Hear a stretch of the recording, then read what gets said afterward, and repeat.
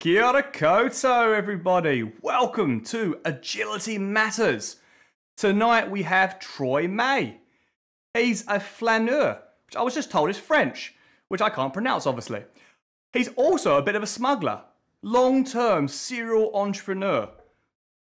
We're going to talk about the entrepreneur aspect, the ups and downs, business in general, but we're going to flow into, I guess, strategy but emergent strategy, responding to the changes in not only customer demand, but employee demands, cultural demands.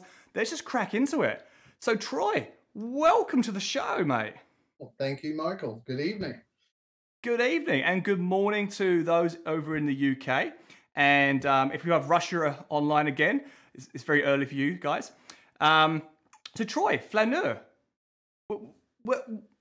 So it's French. Well, I'm gonna keep going. I'm gonna keep going on about it. So where's, where's it from? It's, so it's Fr- It's French. It's it means uh, an observer, someone who's kind of well-to-do, but a little bit outside of society that was used uh, in a slightly derogatory manner. Someone told me very recently that there was images of a guy in you know suit and tux walking his tortoise down the street and he was called a flaneur. I stole the term from Nassim Taleb, our uh, our man of Black Swan fame. But I I thought it was appropriate. I've spent a lot of time not quite fitting in, observing what's going on. Uh, I was a Kiwi lad growing up in the West who enjoyed reading books, uh, not the, quite the right fit. Uh, I went to Australia as a Kiwi. I went to China as a, an outsider's perspective. I think that's weakness and nice. strength. Uh, flaneur. So when you explain that, knowing a little bit about you, I'm like, this makes sense now. This makes sense. So I'll, I will press you on it. So bit of an outsider, bit of a um, no doesn't mean no, right? So is that because you've always been a bit of a, you know, I'm going to push against the machine, or just the fact is that you're, you're stubborn and refuse to quit? Um, neither. It's just neither. neither. Okay. I, I just spend a lot of time in my youth wasting it on books.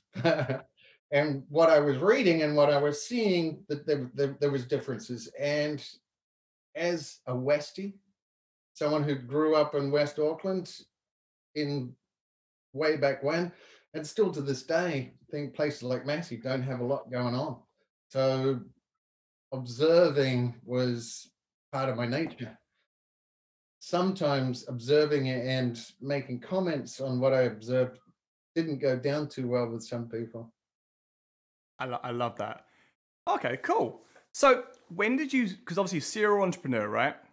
Yep.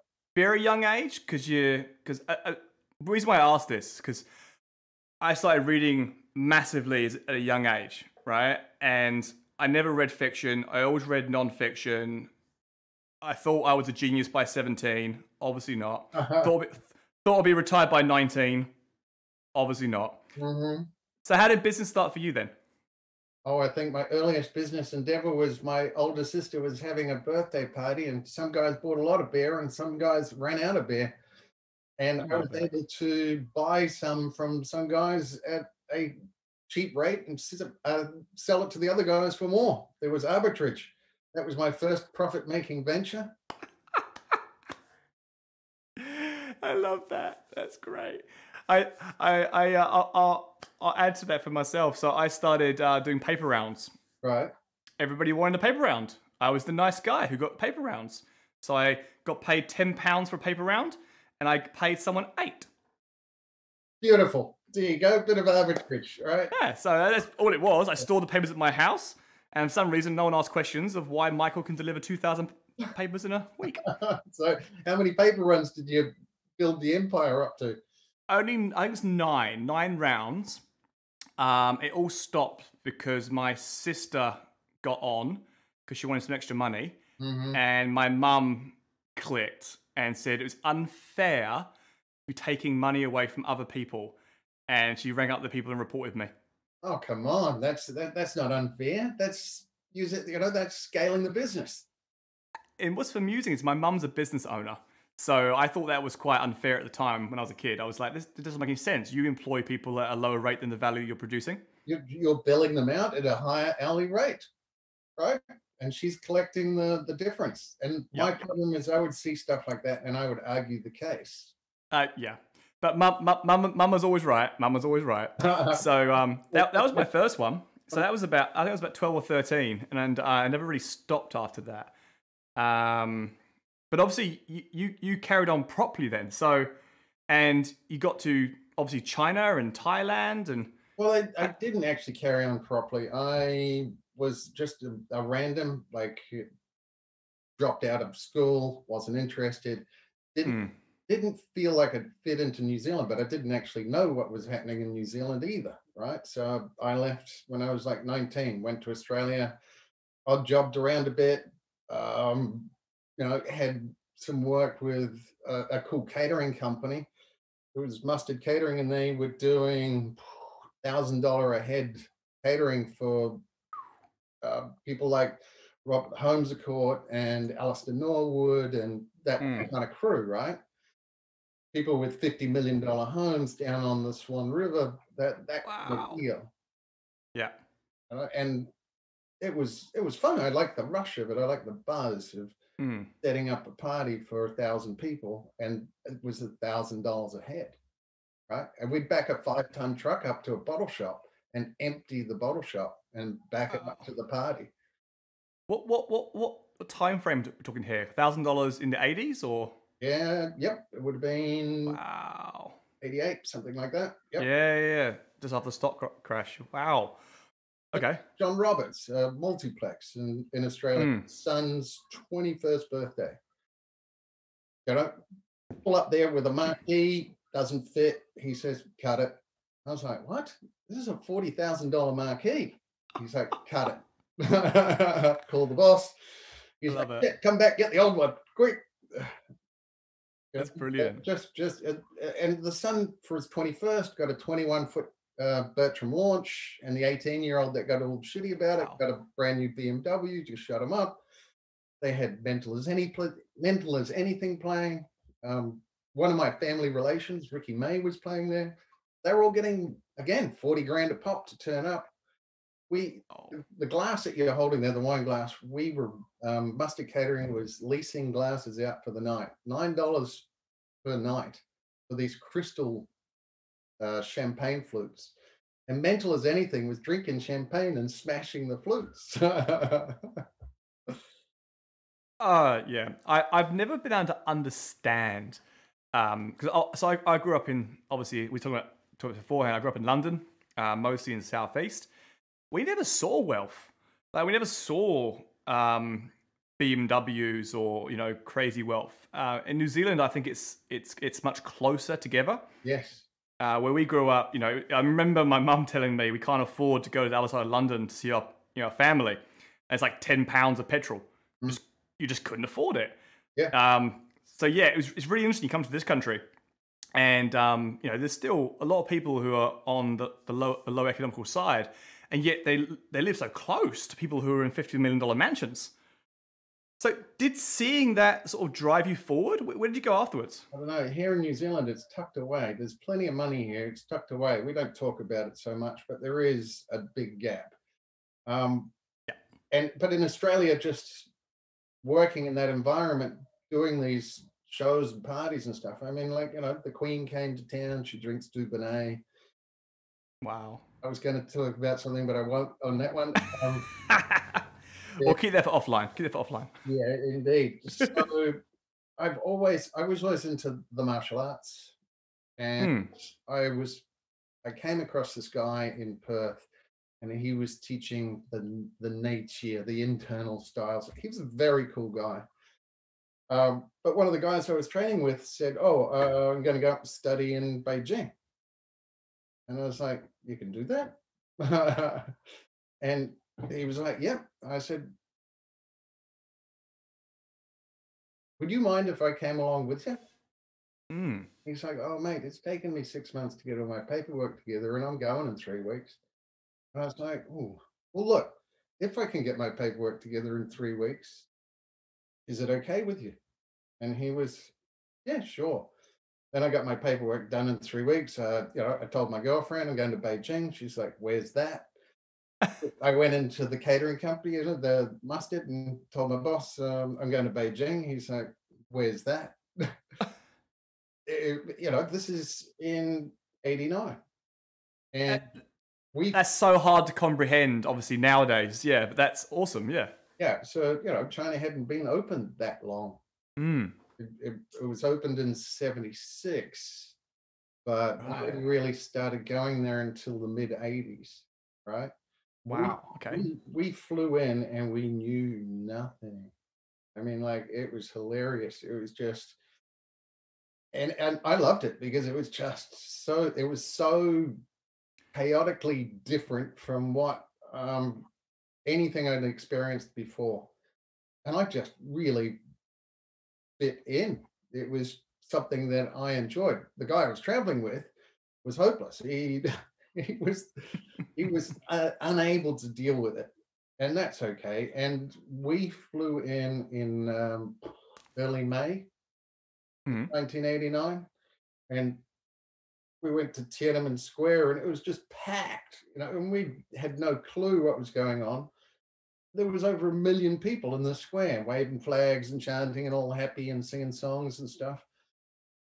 And we looked at each other and said well shit where's the hotel? And off, and off we went. It was just such a radical place. And then when it all went to shit we were kind of stuck there trying to figure out what to do. It was like oh where do we go? And we ended up going to japan Nice. Yep. And Japan, obviously, I remember when I was a kid, Japan was like China back then, right? It was producing everything. It was cheap. So I'm assuming it was more Western back then. china china back then was a totally different world um Mm. it still is a different world, but to give you an example, I met my business partner the, when I returned to China. That was the following year in 19, early 1990. And he was earning 40 renminbi a month, which is about $6, Wow. right? And I had tons of m- you know, rem. Uh, well, back then you, you couldn't spend local money and you couldn't spend US dollars. You had to have FEC, foreign, Mm. foreign exchange certificates. Right? It's like Yeah. traveler's checks for foreigners. There was I remember one- those. There was one store in the entire city that sold bread, milk, cheese, you know, foreign foods, if you like. Wong is there earning 40 renminbi a month, but he didn't need the money the danwei. Your work Mm. covered everything. It provided you with a job, it provided you with accommodation, it provided you with uh, the education for your children, it provided your health service, everything, and including ration tickets. So we'd go to the markets and I'd go, oh, we get a couple, you know, we get some of that and some of this. Uh, no. I was like, I got money, I get it. Uh, no, I don't have a ration ticket. Right? Wow. Okay. Yeah. He worked in a taxi dispatch office. And to drive a car was a high level, high profile, good job. Right? Yeah. Because cars were rare. To, to Mm. actually be able to drive a car for a living, awesome. Mm. I can still remember my jaw dropping open after a couple of years in the early days watching a family in a car. Oh my God, there's a family. It's a private car. Unbelievable. All right. That is, you know, we're trying to watch. When we were up there, Beijing is got a big central square and Mhm. it's got ring roads that go around the outside. Okay. They were completing the second ring road when we were there in the early days. I think they finished the seventh ring road now. Yep. That's about right. And there's traffic jams for about three days. Of all those cars. Yeah. you get used to traffic jams. Yeah. So you, so you travel around, obviously, China, Japan. Yep. Japan, and then back to well, back to Australia, back up to China. Uh, Mm.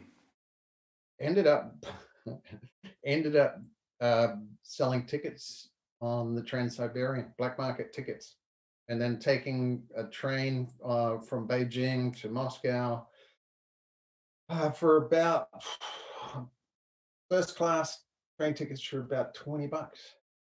Hmm. Right. But again, that arbitrage that we were talking about a little bit Yep. earlier, we the the there was a couple of Polish guys that actually had New Zealand citizenship and they'd figured it out. They were buying tickets for nothing in Hungary and then Yep. getting to Beijing. What made them valuable was being able to book them. Like Yep. um there's you go to CYTS three day, three months to the day in advance and book the seats, and then you ticket. You had a ticket on the Trans Siberian, but no no backpacker or traveler wanted to come to Beijing three months to the day, go in a queue, Yep. get ticket validated. So there was some good money in it, and there was some companies been doing it for years. And just for those who are listening, um, arbitrage is basically buying something and then selling it for something else, more profit, right? Yeah. I- I mean, you can think that's just normal business, right? The whole idea, though, is, and Troy, correct me if I'm wrong here from, from my definition, but it's meant to go away over time. Lots of companies use arbitrage, but the whole idea is it's it's actually a decaying market because as the market opens, the arbitrage decreases over time. So you're meant to not have that opportunity over time. Well, the idea is you get competition, and that eats away at that delta on the on the arbitrage. But Mm, if you can get enough scale and volume, then you've got a moat that can surround that arbitrage, a la Facebook, a la Yeah. Google, a la well, Apple to a certain degree, where Yeah. it becomes very, very expensive to compete to eat into that arbitrage, right? Correct. You create a bit bigger barrier to entry. I guess the reason why I say that is because obviously we've got a lot of Kiwis on, on the line. And I feel like a lot of New Zealand business is arbitrage.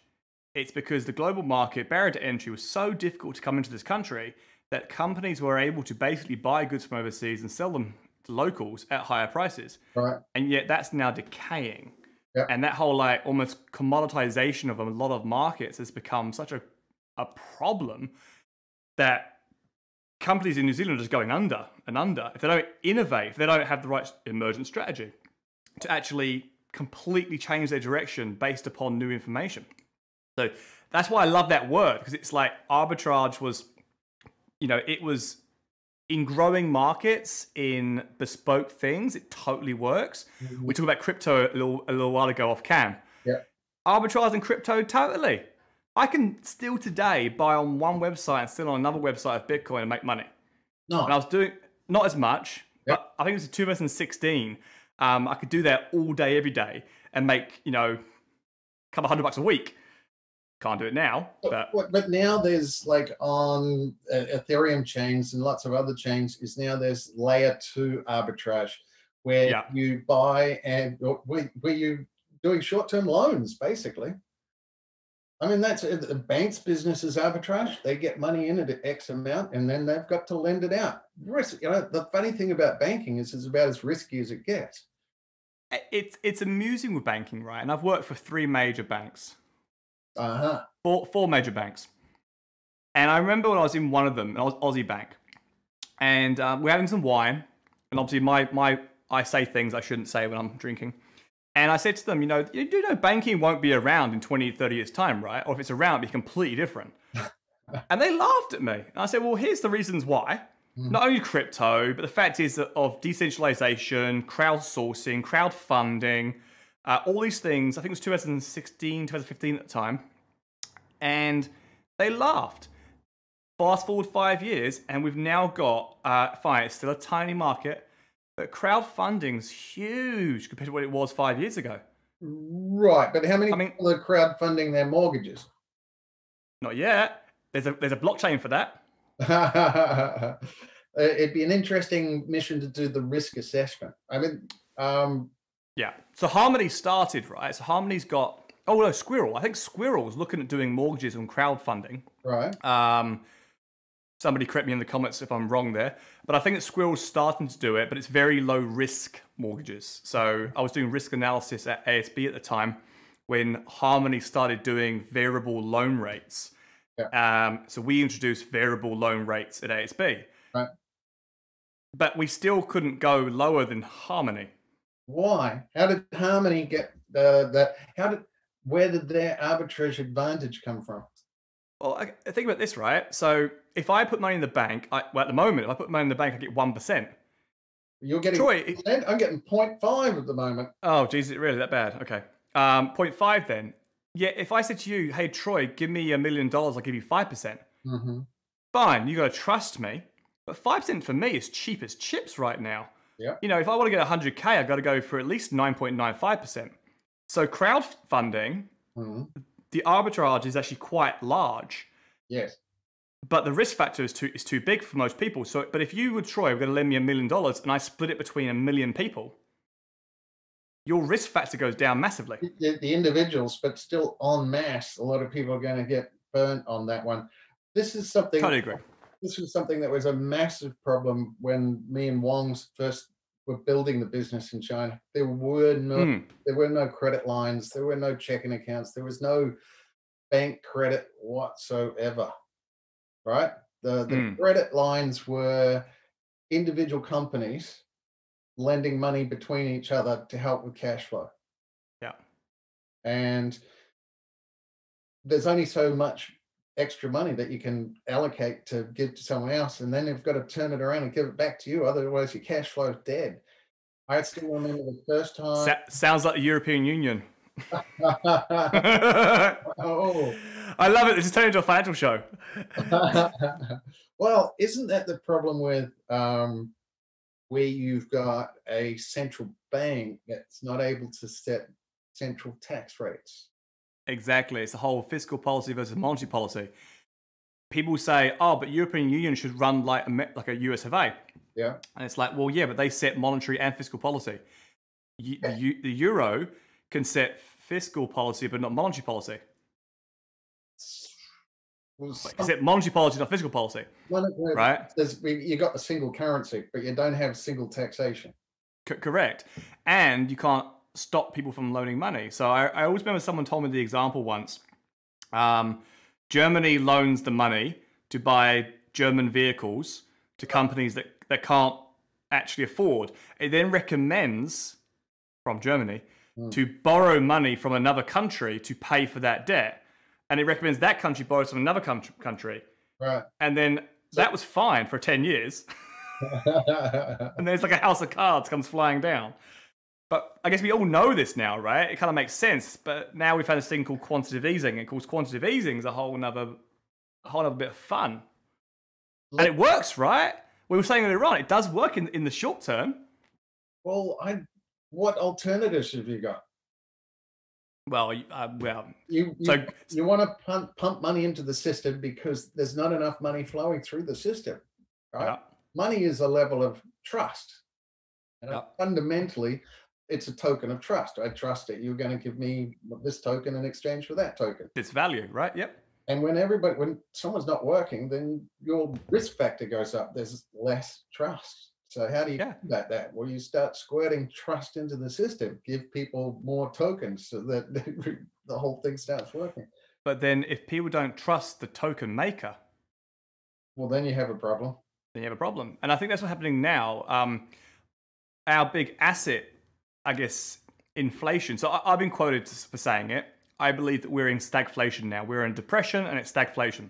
Mhm. So I believe, for those who, who are unaware, we've probably got a whole bunch of agile coaches on the line going, "What are you guys going on about?" But yeah, so What are you talking about Where's my emergent strategy? We will get to that, Chris. Chris Pope, we'll get to that. Honestly, we will. Um, no, but it's, it, but this is all interlinked, right? All these factors happen, and we've got to actually respond to these changes. So being aware of of, of quantitative easing is actually quite important.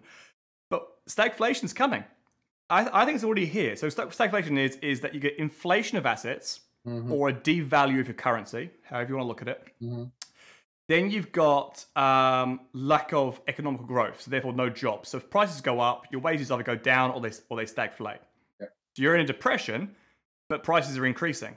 Mm. So it's like a it's a double edged sword, right? We had one in the 1970s, but we came off the gold standard and that fixed it. Well, we're off the gold standard now, so we've printed trillions and trillions of dollars. but people are going, well, then the money's worth less. So therefore, they're putting more money into, into the stock market, more money into the into the prices.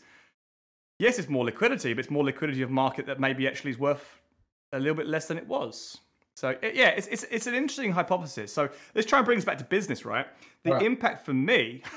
I could chat about this all day long. I, I really could. I, I love finance. Um, and by the way, this uh, episode is sponsored by uh, Little Giant Barossa Shiraz. Ha- hashtag not actually sponsored by before they sue me.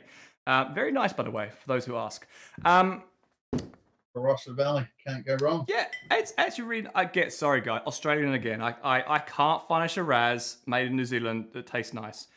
Please, someone recommend something if it actually there actually is one. In, in New Zealand, head for the Pinot Noirs, right? If you you don't, There's just no body in Pinot Noirs. I just you, I, well, I'll test throughout the week and see if I can find one for next week. you, you you need to refine your taste. I, I do need to refine my taste. This is true.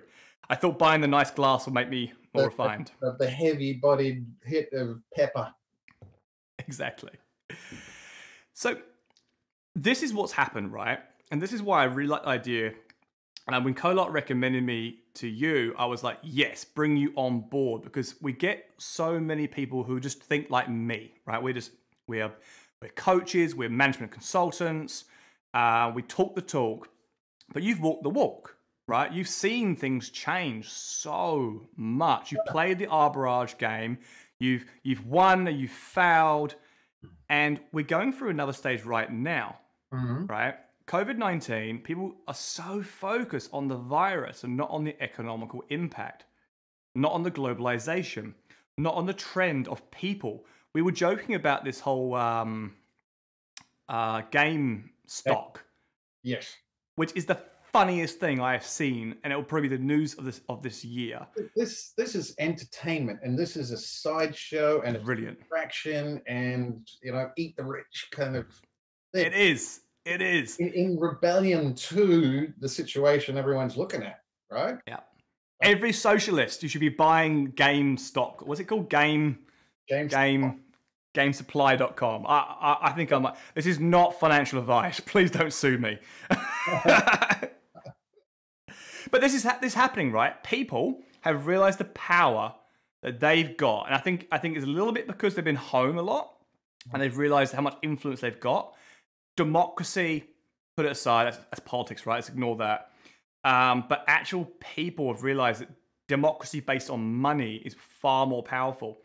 Uh, Vodafone pulled their funding from MediaWorks due to a racist comment on one of the radio hosts. right? People loved it. It was a brilliant strategic decision by Vodafone. I'm hoping they did it from a moral point of view, but it was a great strategic decision because people are realizing, like, um, his name Jonathan, CEO. I saw the post he made. Um, Jason, uh, he made a post on LinkedIn, and I, I love actually, you know, love the bu- love button on LinkedIn Mhm. because what you're finding is um, you'll get hundreds of comments. They'll tell all their friends. Vodafone does this. That tell their friends. The word of mouth advertisements far more powerful now than the actual media works would have been in the first place. Right. So people got power, right? So how do how do people how do companies now, Troy? How do we how do we um, survive? Let's go with survive first. How do we survive, Troy? um, well, I think most companies, if you're going to get anywhere, you're going to have some sort of value system. You're going to have some sort of principles Mm, as, as north stars. yeah. There's the difference between principles. Uh, you know, think of it as more like your strategy based on those principles. Your tactics are going to change, but where you're aiming for isn't, and why you're aiming for that isn't. The days of I, I don't think the days of just making money are over, right? If that's your primary guiding light. But I think there's just too much going on that without some value uh, value structure, you're not going to be able to filter what the, the changes that are coming down the pipe, right? And that was something in China. It's a very pragmatic pragmatic space, Mm, but and, and eh, people are very quick to they look at things in the short term, not the long term. and it's a brutal jungle kind of approach to dealing with things. Well, westernized culture, when you look at um, um, multiculture, for instance, a lot of iwis have got 50 to 100 year strategic visions. Right. And I was like flabbergasted when I when I heard about this, and then I spoke to a local iwi, and I actually found out that this is true. That they they don't have the next quarter, the next quarter, the next quarter. It's about what are my tamariki and so on actually going to uh, live like. How does how does that filter filter the choices of decisions that they make on a on the short term? How does It's it, whittle it's down? they're always aligning it to the greater vision. You know, how is that going to affect my children's children, Hmm. as opposed to how is that going to affect my pocket in the next three months? Which is very interesting. It's, it's not very well known, and I, I, I it's it's amusing because we're kind of going in that direction with business now, right? Exactly what you said. Have a almost have a vision of values. That are, it's beyond the quarterly uh, paycheck, but yet cultures like um, I can't remember the actual wording. Sorry, sorry for those um, tangata whenua, but um, I think I think you might call it. Uh, they actually focus on that long-term vision, which means all the decisions they make today are about adapting for that long-term vision. I'm not saying it's right or wrong, but it's very interesting, and it's almost aligned to how we speak about green cultures and about you know looking towards the greater end result. Uh, What do you think? Um, I'm familiar with reasonably long-term views, but not 80 to 100 years. But I Crazy, right? I don't see how that makes a difference. If you've got a set of principles in terms of how Hmm. you're going to do business, okay, then that helps you decide on which side of the lines, when decisions come down those pipes and they're coming down all the time, Yeah. how are you going to take them, right? One of the things surviving in China was we accepted responsibility for you know, our mistakes, Mm, paid for them, right? But we went to war with people that, if it wasn't our fault, if, that, then we weren't going to deal with that. yeah. And that rule of principle of taking responsibility for the mistakes that you've made and you know paying out of pocket for it it's a monetary guide but it's not uh, a long-term um, environmental thing if- you like Mm. or, or political endeavor Uh, in the early days in china it was just too cutthroat to even be thinking about that kind of stuff this is where the emergent strategies kind of thing came out we had me and Wang would sit there and we had this thing where we were petrified of getting stuck. The worst thing that could ever happen was just not making a decision. And very often decisions got hidden away or mistakes didn't rise up to the surface in time and they got exponentially more expensive the longer it took you to find them. Uh, Yeah. Part of that process was we always had this joke. It was like, let's take one step, uh, look around, and then take another step. But we'd rather take a wrong step in terms of making a bad decision than no decision whatsoever.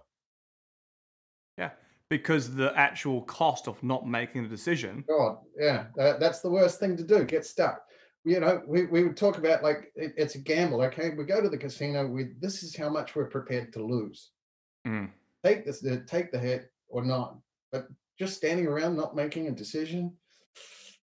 And so this take a step, look around, and then figure out where to take the next step. That that was our basic premise for pretty much everything that we did.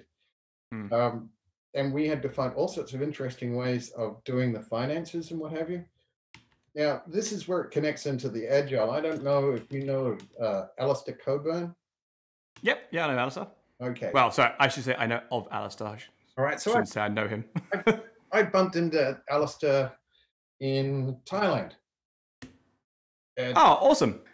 and he was giving a talk and he was only answering in stories. So you ask a question, answer stories. And I turned up there and I put my hand up and asked, What is agile? And he just looked at me and said, What are you doing here? And I said, um, People were talking about agile a lot, but I didn't know what it was. So I come along to a seminar to find out. Now, his thing is um, what he calls the heart of agile. Right? And Okay. the heart of agile is basically um, talk to your customer, produce something, put it out there, Nice, yeah. observe, you know, reflect on it. How can we improve it? Improve it and put it out again. And I Yeah. immediately connected with him and said to take a step, look around, take another step, look around, and make decisions as you go. And he's like, yeah. it's pretty much how thing. I mean, that's how you know that is emergent strategy, but operating on the sense of collecting the data, just taking Hmm. steps. That's not an emergent strategy. That's just running blind. But taking the time to absorb what's going on from your new perspective and your new situation, and it's really tricky when you get. Often you'll take a step and go, "Shit, why did I take a step? That was stupid. What am I doing here?" Go back, go back, go back. Well, the thing is, you got new context and new information from Yeah. that step that you didn't have before the step. So it was impossible for you to know that. If you did, you wouldn't have taken the step in the first place, right? But your strategy then evolves, it emerges from the data that you're collecting and reflecting upon as you're moving forward, right? Yeah. And it's funny, right? Because I remember reading an article from um, Mintzberg, and he said, and it's in 1994, the end is nigh for strategic planning. Mhm. And yet we still have it today. But what I think Mintzberg was doing is he was looking at companies like yours, companies that are up and coming, companies that took over the market, and they did. They dominated the market through 2000, and now we have Facebook, Amazon, everybody else who do use emergent strategy with planning, of course. But what they do is their strategy is to have no strategy. And you saw that on the bar, right? The, the, the, the strategy is, you know, it's a scientific. Here's, here, Yeah. take a step, observe. There's a hypothesis getting tested in mm-hmm. that step. That, Totally. that provides you feedback and data. If you're ignoring that data, if you're not analyzing it, if you're not reflecting on it, then you you really don't have a strategy. There is nothing going on there. It is not agile because if you don't analyze what's happened in order to make the next step of your decisions, then Yeah. you know, there, there's you're stepping blind anyway, right? Yeah, and that's Bassot's reflection, right? So if you're not reflecting, and and and for those who don't know Bassot's work, if you know retrospectives, you will know reflection. But a reflection is when you actually reflect on on the step you just took, Hmm. and take action to improve on the step you're going to take. And when you read Bassot's um, journal and Harvard Business Review, you're just like, yep, that's just common sense, right? Yes. But Troy, it's not common sense in big business. And I think what's happened is the barriers to entry has been decreasing due to technology. Companies are coming in. The incumbents are like, oh my God, this is what's going on. They hire people like Alistair to say, hey, teach us this agile thing. Teach us to be more like the smaller companies so we can crush them. Well- Um, Here's a good story for you because, like, um, I liked Alistair and I said, let's catch up because he was in Thailand for a few days. And he said, uh, you, and I, I don't really want to go to a bar. And I said, well, come to the gym with me. He's like, oh, nice. I, I'm into that. So I coached him how to deadlift and squat and bench. And he was getting a little bit tuckered out in 33 three degree Celsius heat with a high humidity. Oh, God. I realized, oh shit, you're not. Oh, he's like, he was like 60. he's in good nick. Um, and he was like, he cracked on to me because he was like, uh, I did not realize he was that. Um, um, hmm, hang on. That not, what's the other word? Not old. Um, I didn't realize he was that old. But he- wisdom. I know he has that much wisdom. he's he's a fit dude. He's a He's very, a fit dude. he's a fit dude. He he set a world record for swimming at some point. But Wow. but uh, he was like, you know, I enjoy the conversation with you because it's a little bit broader than with the software guys. And he says, actually, I'm a hardware guy. I was with IBM with their big iron. You know, I was a Hmm. supercomputer dude. That was my thing. I can walk and talk hardware. Software, I've been around it long enough now that I can talk it, but I don't walk it. Right? Interesting. And and what you were just referencing before about large companies, he was with IBM, and this is the story that he told me. They were switching to services, right? Hmm. His boss said, Alistair, we need to find out what the best practices are for services and software delivery. Yeah. And she put him on a plane, first class tickets, go find out. And he went everywhere for a year. He went to Wow. banks in South Africa. He went to you know companies in London. He went to New York and South America and everywhere else on the company ticket. And what he found back then was like these massively well planned out, down to the detail uh, uh, Gantt chart kind of processes were failing left, right, and center. Right, stuff wasn't getting out the door. Things had changed, uh, and no one was able to absorb those changes in the process of trying to push things out, and it was just messy. And he said, you know, I went to a couple of different companies, and they were doing really well. They were just sort of pushing out bits and then bits more, and looking and bit more, and that worked. But they were, you know, he gets back after a year, sits in front of his boss, and she goes, "So, you know, what's best practice?" He, well, actually, having no best practice is about the best practice I can see. And she's like, Chin, chin. she's Brilliant. like, get the fuck out of my office. I didn't pay you money. I need a report. I need something. Right?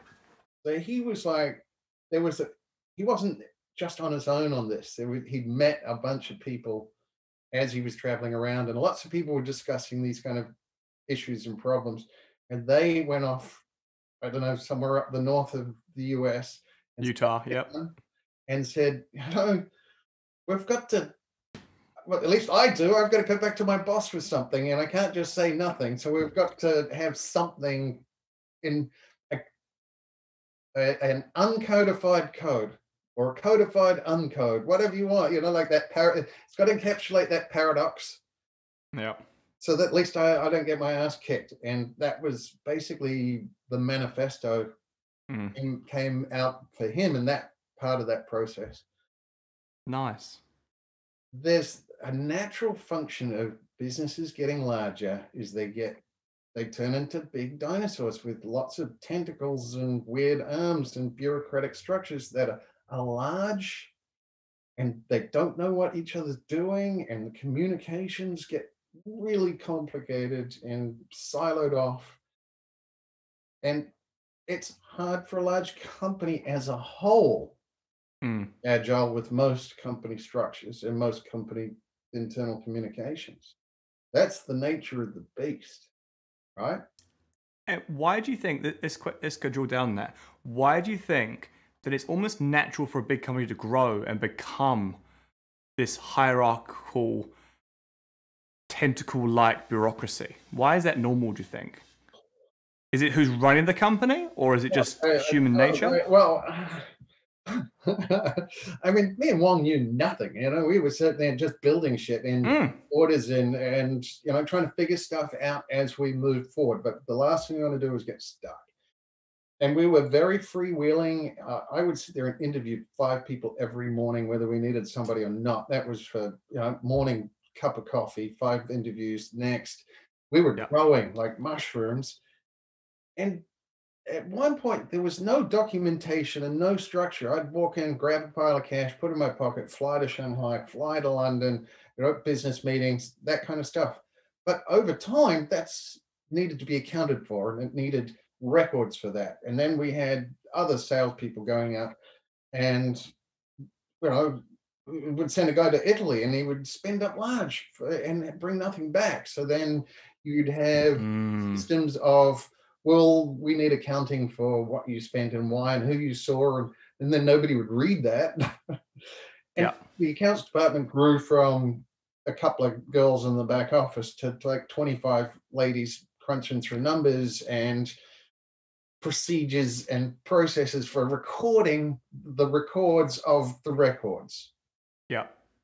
so that at some point there was this imagined accountability Wow. So so even though you and Wong were pretty onto it, you knew that you need to adapt, you know you need to have fast test markets, still it became a, that kind of process even as you as leaders? Is it just a natural flow?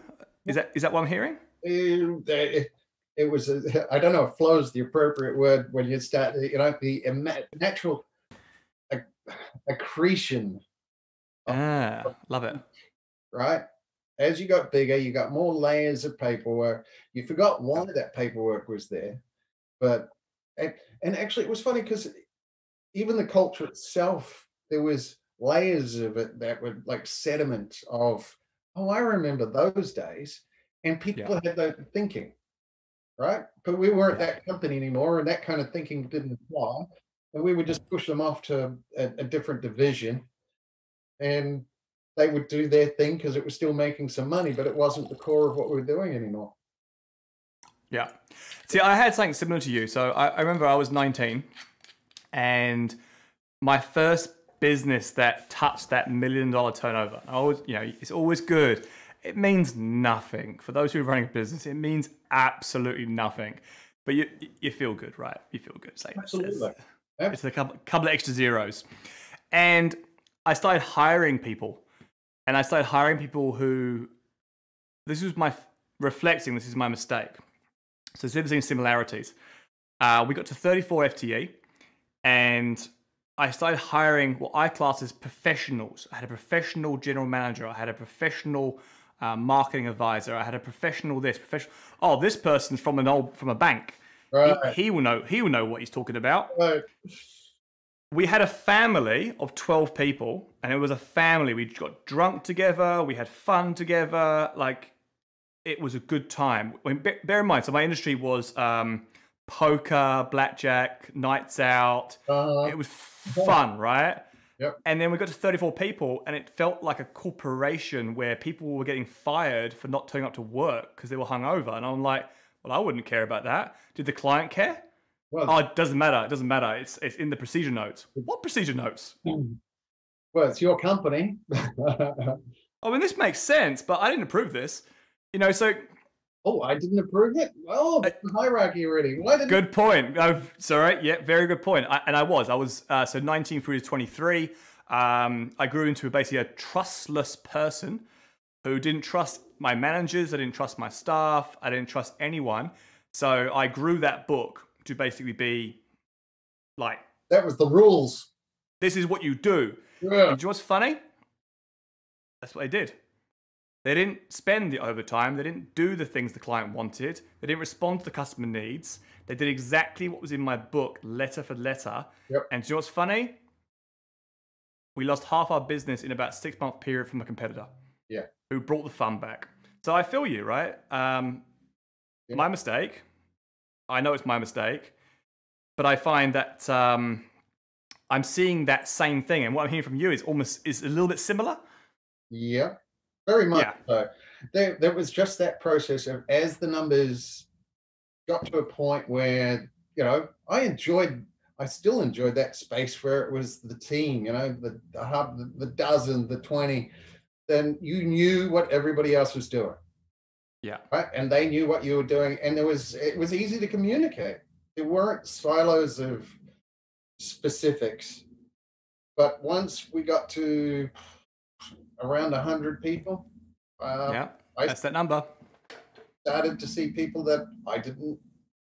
Did I talk to them before they got employed? You know, I was a part of the the the, the process of interviewing everybody, but then it, we ended up with an HR person who then brought them on according to a job description. Yeah. And as we got up to 200 people, then there was people that didn't know who I was and wondering why I'm coming to their desk. And I had to go and navigate through the department manager, who would then tell me what the team manager was, who would then find the merchandiser that was handling the order for the customer that was just screaming Oh. at me Yeah. because there was issues, right? And then this person would go, "Well, what's this Bellwhite doing sitting here?" You know? Yep. Oh, well, he's your boss. He owns uh, half the company. Oh, Yep. and then they, they Yeah. freaking out. And there was this layers of stuff that would just happen. Now, I I I'm the, of the approach that I like to treat people like adults and expect that if I treat them like adults, they will treat me back as adults. But there tends to be um, a level of skin in the game, so to speak, that is required for a certain amount of adulthood. There Mm. are large enough people that come from cultures that you know their, their culture's already pre-existing and preset and it's really freaking hard to change either people's mindsets or the cultural mindset of a company Yep. Right. 100%. and the culture starts at the top you know if me and wong had a shitty attitude that would filter down into the kind of stuff that happens in the rest of the company Yeah. If you don't trust people, your managers don't trust people, Mm. and so on. Yep. Totally agree. and if people are filling out forms and paperwork instead of dealing with the real shit right Mhm. a lot of that forms and papers, at least for us, was we didn't have the tech. Everyone was running around with spreadsheets, right? I would died for a dashboard. I dreamt of a dashboard that would just give me an update rather than having to constantly poll merchandisers and managers and department heads to get inputs as to where are we on this, right? The customer, the customer's polling us. Why can't we have the customer plug into this somehow? It just wasn't there. Right? yeah. Just slightly too early. I mean, now it's obviously very simple. The SaaS guys are probably going, ah, it's easy. Data, data. Here's a report. There's an API for that. yeah, yeah, yeah. It's simple, right? I mean, I- I run my entire company with Cola, and we have no IT department. We have no, I have no directors here. Where's my audiovisual crew? Um, technology is so freely available now. It's, it's a lot easier. The barrier entries have dropped a lot. Hmm. So we're going to see more competition, aren't we? More competition, more driving. Is that going to hurt pre-existing incumbents? Like, as in, I hope so. well, I hope so as well. Actually. I hope so. Um, there is a lot of evolution going on. Okay. Mm. It is the nature of big dinosaurs to be able to fend for themselves. And if there's a lot of little mammals running around their feet, good. The ecology, you know, because those mammals grow up and turn into dinosaurs anyway. Yeah. So there's always somewhere bigger. So you could be a very large company and then you get listed and you become a big listing, but then there's a hedge fund. But then the hedge fund has to talk to the insurance company that owns half Yep. the thing, and then the superannuation fund. On and on it goes. But we need lots of mammals because that's what drives. The mammals can pick up the APIs and start playing with them straight away. Yeah. Right. You and Collat can pick up, oh, let's play with this. And there's almost no headwinds. There's no Yeah. feet stuck up to your knees and dry cement preventing you from trying it. Yeah, and we've made a decision. So when we look at all the research, and um, obviously you see the research, Troy, because Troy was a beta tester in our online business agility foundations course, um, and Which the research love show- very much, by the way. nice. Thank you for the recommendation. Here, guys, buy it, buy it, buy it. Um, but Subliminal.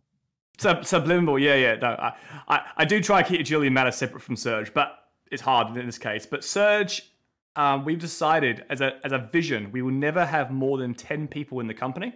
Right. Therefore, we must find partners for everything else. Yeah. Outsourcing and that kind of stuff, or outsource it via an API. Right. Correct, hundred percent. So we want a family, and when we looked at the research, we saw that teams of three and four make sense, band of fifty, tribe of two fifty, organizational limit of six hundred. It's there, clear as day. That is there. Well, we So we had seven thousand. yeah, Okay, but that's we had um, franchisees, we had ah yes, perfect. you know we had retail, we had manufacturing, we owned uh, three factories, we had contract factories of you know all over the place. We had all sorts of different divisions and stuff, and it was just trying to figure out what the hell was going on. You know, Seven thousand, Troy. What was everyone's last name? long. Pretty much, but um, you know, It's hard, right? I mean, that's what that that's why I, I personally want a family. So I like your franchise approach though, because you create little miniature families. Did that work quite nicely, or? The franchise we went through so many different models of franchising it was not even funny right? Hmm, um, that was for a children's clothing brand called ngy and we modeled that around um, our own in-house designs and styling, but then we weren't using the, our own manufacturing for that. We put that out to someone else because our own manufacturers, the one you know, our factories were giving us shitty pricing. Yep. So Yep. we turned around and said to them, Love that. "We're not going to pay. We're, we're not going to put our orders to you." They were shocked, and we said, "No, you you guys go and find your own orders," which worked in our favor in the end. But um, I, you know, if if That that's one of the things I actually promote, Troy. Um, internal competition. So you'll notice in the course I say that a customer is someone who has a choice and is the end value consumer, right? If they're not an end value consumer, they're a partner, and if they don't have a choice, they're an internal um, stakeholder. Yeah. Now, internal stakeholders are one of the most unproductive things you can have in an organization. Yeah. They just are. Partners are more are more productive because there's choice. Uh, but customers are the most productive because they have choice and they're the end consumer of the value. They understand the value. So bringing the clo- customer as close as possible makes total sense. One of my theories is exactly what you did, and that is basically say, right, your unit, I'll only buy from you if you're competitive with the outside market. Yeah. Well, no, they were structurally as independent units, and we just said, you know, single swim. Perfect. Yeah, perfect. I actually say the same thing with accounting companies. Yeah, well, the land that the factory's sitting on is worth more than you at the moment, so just do whatever you want. yeah. If you crack it down, mm, we 'Cause when I was an when I was an accountant, I used to say the same thing. I was like, you know what? If I think it was Air New Zealand at the time, if Air New Zealand was to go to market on our services, it would be cheaper to outsource our entire department. right, And no one liked to hear that. Like, oh, but that wouldn't make any sense for Air New Zealand.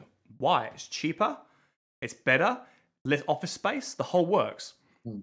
So because of that one realization, my team decided to basically up their game. Didn't work any harder; they just worked smarter. Hmm. We became very, very productive. Um, and what we did over time was, as people left, we never replaced them.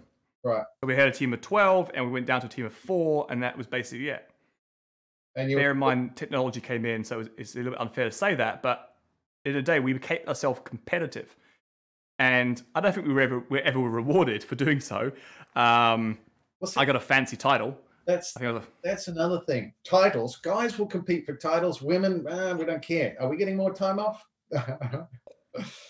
no, and that's the thing. I think, um, and you can go down a, a real weird path of human evolution here, but yeah, on average, aggregatedly, aggregatedly, um, men seem to want prestige more than they, than than women do, or I should say, masculinity wants prestige over femininity. That's probably a better way of putting it, because not all men are, are have femininity, etc., etc. Um, and yeah, titles are an interesting thing. When Air New Zealand called everyone an analyst, everyone felt great. But their role hadn't changed. They just got called an analyst. the title on their business cards changed. Yeah. I It's- remember I had one lady, uh, Lee Dunn. She was lovely. She was super effective, and I just said, "Look, I want you in charge of the shipping, the you know logistics." And she says, Mm. uh, "Okay." And then she's like, "Well, what's the salary in there?" And I said, "Oh, pretty much what you got at the moment, um, but we can incentivize it in other ways." And she did the numbers and said, "Not interested." so what do you mean? Wow. Whereas there was other guys in the department that were dying for the title and didn't care about the money. She was more like, well, you know, make, Money. make it worth my while. I said, well, the role's more interesting. It's more appropriate for you. She said, well, make it more appropriate financially. And I, uh, okay. Oh, but good on her though, because that's one of the leading contributors to um, uh, women being paid less than men is the fact they don't ask. So I, I think I, I love that. Uh, I will quickly interject, guys. It's nine o'clock. There are full fifteen of you on the call. Ask a question if you want one answered, because there's been not one question tonight. Um, but yeah, I, I find that quite fascinating as well.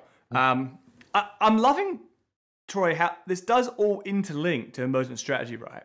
And I was talking to somebody, I was talking to um, a couple, couple coaches earlier on. They were looking forward to this to be taught emergent strategy.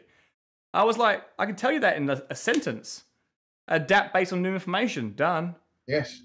That's that was exactly exactly Alistair. Alistair was like, you know, I, he said, I would probably fail a Scrum course these days because the 200 pages long of complexity and layers and hierarchies and accre- accretions of sediments of things to make it look like something more than what it is. Oh, I'm sorry Yeah. I'm offending anybody in Scrum, but he was like, No, you won't. Well, you will be, but who cares? that, that that was what the entire agile mindset was trying to operate against was the mm. natural you know formation of limestone Yeah. that happens over time you you have to blow it up occasionally or you have to keep looking at the thing and moving around it some stuff just But you know what's funny, Troy? And I put in the comments actually when you were talking. Does this sound familiar? When Alistair went to his boss and said, "Hey, there is no strategy. The strategy is to have no strategy. The, the process is to have no process." yeah They zen. threw it out. yeah should get the fuck out of my office go Yeah. you bring me something back i didn't spend all that money on you Give me a tangible step by step process. Now, the Surge framework, we have a step by step process. Do you actually need it? No. Mm. No. Have a coffee with me. I'll tell you everything you need to know in 20 minutes and you won't need me. Right. But they don't want people don't want to know that. People like Wait, wait, structure. Wait, wait, wait. Now, on the theory side, yes. Okay. Now, then we jump to another wrinkle in the, the in the issue. Me and Yeah. Long would sit there, and things would get complicated, and we would look at stuff and go, "How do we do this?" Right? Mm, No. We would look for other people. We'd headhunt out of other companies. We'd get somebody. They'd sit there, and they didn't know either. We came to this thing. We had this description of people as handle builders or handle turners, right? And often, yeah. often we were building handles, right? Yeah. and we needed help figuring out how to put the handle together. We would get someone Hmm. into a large company and find out that they were a handle turner. They'd never built the handle in the first place, they were paid good money to keep it turning. Right? Interesting. Okay. And we ended up the situation where you have to be involved in your business to understand, to take on the inputs and Mm. process them and bump into that I don't know factor and figure it out. It is a math problem. You know, it's a it, it's it's a philosophical problem. It, it, it's a values problem. They all come down the pipe. Yeah. And you know, you, your culture allows you to keep the handles turning, but those handles have to continually be either built something new or you know changed and adapted and still cranked around. And some people sit on Yeah. the spectrum of they're much better, they're much more comfortable turning a handle versus some people are much more comfortable building them. We're all, you know, got to do both, but we tend to sit one side of the spectrum or the other in terms of, you know, which we prefer. You know, do you like getting stuck into problems every day, or do you Mm. just do the same? You know, turn the handle, and then you know, if it gets jammed up, talk to someone else, and they'll help you. Yeah, and and this is about again. I'll I'll put a pun in for the business agility radar. Right. This is cognitive diversity. Mm. You need a diverse amount of people for every problem solving. Otherwise, everything looks like a nail and you hit it with a hammer. Absolutely. And if you look at one of those on the course, you remember the um, concrete sequential, uh, abstract randoms, that, that analysis? yes. That's a perfect example. So I do that test with a lot of people. And the reason why I do it is because I go, right, this team feels really top heavy in one area. And I do the test. Yep, they're all abstract randoms. Right. They're all bloody creative people sparring around, driving me mental because I'm a concrete sequential to the max. Like I am. If it's not in a, a linear line, it does my nut in um, I, I can't help it. And if you if you waver from logic, I just I I, I, like- I freak out. I can't I can't. I'm, I'm I actually am on spectrum, so I find it very very strange. Um, like people don't think like this, but I understand you don't. It's fine. Um, but having that, as you say, a, a handle Turner. turner, Yeah. handle maker, you need everyone in that team to make good decisions. And I think that's that's very key. part of the good decision is understanding where in the spectrum you are. You know, if you're comfortable turning handles, that's fantastic. Here's the paperwork that we need for the, the logistics for shipping. Right now, this stuff's going to change from time to time. Cool, but on the, the rate of change tends not to be high. Okay, so Ah. go go for it. Just turn that handle. We all, everybody employs somebody in the admin that helps them out. Everybody employs someone with, that does a lot what we call housework, right? And Yep. and then there's the people that are glue, right? There's the people that um, manage to communicate between the three, four, uh, you know, the hundred, or the, the the team and the other teams. They translate and they stick things together.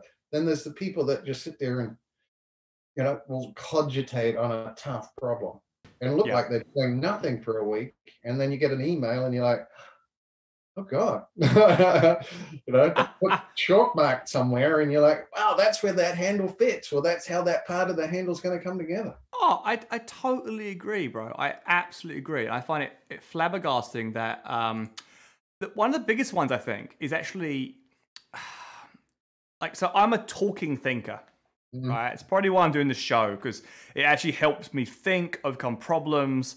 I'm thinking of a problem as I'm talking to you. I, I can't help it. It's actually a really good way of me doing it. I'm learning something new. Hopefully, you're enjoying it as well. People online, hopefully, you're learning something as well, or just at least get a glass of wine and enjoy yourself.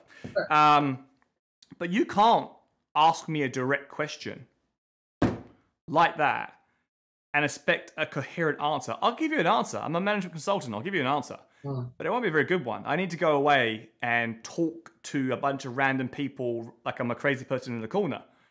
And that's me. This is this is a really important point, okay? Because I ended up doing sort of consulting stuff, and I would often sit there and think, why are people paying me money? You know, because my my experience isn't blowing shit up. You know, it- it's going sideways. But and it was a, a lot of it was network effect. I, I had the network, the net was bringing in the work. But um, where does you know? I just got tripped up by that question there. What are your values, Mike? Oh, sorry, sorry. I, I was I was twisting over. Forget you didn't see anything. This is a mirage. Oh, just let you know, um, apparently there's been a, a, com- a complication with the live chat. So uh, Sim's just come on and said that she had to exit um, back and forth to try and answer the question. That's probably why we've had 17 people come and go, and we haven't had any questions. I was kind of confused. Um, so we have one question from Sim, and I'll be answering that um, shortly afterwards. But sorry, go for it. All right. Well, I kind of lost the, the trail of where I was going with that one. Um, Sorry. oh, How how people think differently? ah, the, the- you know, that element of diversity is Yeah. um, outwards facing diversity as well as inwards facing diversity. There was stuff Yes. going on in the marketplace with our customers, with our vendors that we're oblivious to that other people from like um as as a company based in Beijing, we had people from Russia and Poland and uh, the US and Switzerland, you know, myself from New Zealand. You know, we, we had an, an intimate, an eclectic bunch of people. Love it. Yep. Uh, you know, one girl from Pakistan who could drink you under the table with and any night of the week, right? Uh, And they would often come with insights or data that Beautiful. you know you you'd never you'd like, oh, well, you know, where did you find that or how did you see it? It Mm. just it was just like right there in front, and you just don't access it. Okay, it's kind of it felt like a a blind person has a different sensory exp- uh, exploration of the world, or someone in a wheelchair is going to come across a whole bunch of hassles around the, the architecture that you just don't even think of. And it was that Mm. kind of out of the blue, but right in front of your face kind of inputs that we were getting the more diverse the team. Yeah. And, and it's interesting. That's why we use the word cognitive diversity and not just diversity. Mhm. Um, because what you can take this multiple ways, but the the way it was designed was complete diversity of thought, and that could be how you're upbrought, your culture. It could be um, your your upbringing and which school you went to. It could be what you've studied, how you how you've which books you've read. Cognitive diversity to fit the problem is what you need for every single customer uh, centric design of an organization, and it's one of the, it's actually the biggest one. I don't know if you realize, Troy, but out of the 400 people odd who've done the um, the business agility radar, That's been the biggest bugbear of theirs. They hate the word cognitive diversity. Why? And I've always asked them why. Why? They're like, oh, I just prefer the word diversity. Um, and I said, is it because you've captured on to the media spin at the moment on diversity? Like you've bought into that, hmm but you don't understand the reason why. Like for instance, um, putting a customer on the board is far more important than having an even male and female board. Right. Put a female on on the Well- customer on the board. I have no problem with that. What I'm saying is though is is diversity is a very important thing. Very important thing. We want to make sure we have a diverse board. But cognitive diversity is more important because if you have, you know, 50% women, 50% men, um, 12% uh, people who are not heterosexual, you know, completely make it make pro- perfect makeup. Mm. But they all think the same, went to the same school. Mm. You've you have not got cognitive co- bleh. you have not got cognitive diversity. Diversity, yeah. And they don't have the same viewpoint as one customer who's Correct. who's going, guys, I just want this delivered because Sears is gonna burn me if I don't. And you're not thinking about that portion of it all. You don't care about my pain. You just care about your product, Hmm. Which goes on to the next one, right? So, you know, customer experience over product centricity. All right. Well, you know, and the other thing, there's there's a sort of a cultural thing in China is that uh, people don't, and I- honestly don't know whether it's just China. I think people in general don't want to put on the table problems or mistakes that they might feel that they're responsible for. Uh, but why do you why do you think that is? Well, do you like being wrong, or do you like making mistakes that cost money, or do you just like you know, does the boss ball you out, or do other people belittle belittle? There you go. Yeah. Yeah. Your first two statements, I'll say, nah, I love failing. Mm. As I said to you earlier on, um, so I've had eight businesses, seven have failed. I've loved it. I love failure. Bring it on. Sorry, Colart, let's fail again. We'll learn more and we'll do even better next time. Um, I love failure. Sorry, But Collart won't let you fail. You know, it's Nah, nah, he, he he's a he's a great business partner because uh, he's everything. He's this is the first time Troy I've had a business partner. right. Well, I've always gone it alone. um, I I prefer operating with a partner. I, I'm I'm loving it. I'm absolutely loving it. And I, I find that yeah. yeah, What are you finding from it? Having a partner versus not having a partner. Cognitive diversity. hey, what do you think of this? Uh, oh, really? You know, as well, you- out your mouth. well, he'll he'll tell me I'm an absolute idiot. Like that's a bad idea, Michael. He'll say it in a nice way, of course. He'll say it in his co-lot way, um, in the you know the coaching way of. Um, and do you really think that that would cause the what is the outcome you're looking to achieve with that on that LinkedIn post? Has honed this skill of listening and just you know threading things to just let it come out and he's got a Mm. great organic sense here's the funny thing is i was away from new zealand for 30 odd years and when i first sort of landed back it was a few years back i didn't really have a network here i didn't know anyone Of course, you've been away. Yeah. so funnily enough um, i reached out to alistair Cockburn and said hey Funny. do you know anybody in New Zealand? And he's like, well, there's, you know, he put me in touch with, I think, Joe Oslander, and Joe put me in touch with Collart. And I liked these people because they've got that kind of mindset of just exploring and being open and doing stuff. And they're, they're, they're handle builders, or at least they're looking at the handle and saying, well, if we'll turn it Yeah. this way, will it continue to continue that that way? Or can we pull it apart and do something slightly different? They're they're they're doing the emergent strategy Ah, thing. yeah. I, Carlot is definitely that. It, it's it's unbel- He's skilled. When he uh, agreed to join Surge, I was just like, really? Mm-hmm. What the hell am I bringing to this? Um, And it's funny because um, he's made me realize, and he's made me realize, and he's made me grown as as a as a as, as a business owner that I have got things to give, and that's that's one of Colot's I guess treats I would say is he's made me realize um, that I really this is this is what you need in business. You need cognitive diversity to actually solve problems because I was always hitting it the same way. Hmm. Say seven businesses failed very similarly Oh. each time. I even tried the socialist approach. I gave the business to the employees, Uh-huh. thinking that that would solve the problem. Um, it never did. They just thought I was the boss still. Even though they owned 20% of the business. Yeah, but see, the culture had started right from scratch. They they came on that basis, and then you tried to change it by by fear. Right? Gifting shares out. There you go. You're owners now, and they're like, Let's do this. we didn't sign up for that. And that's part of what I talked about. We ended up with these silos and layers of people that were their, their mental model of what we were doing was sort of stuck in a time frame. That's okay. We we got used Okay. to that. Some people we just they were like a virus. We had to literally put them in a different office.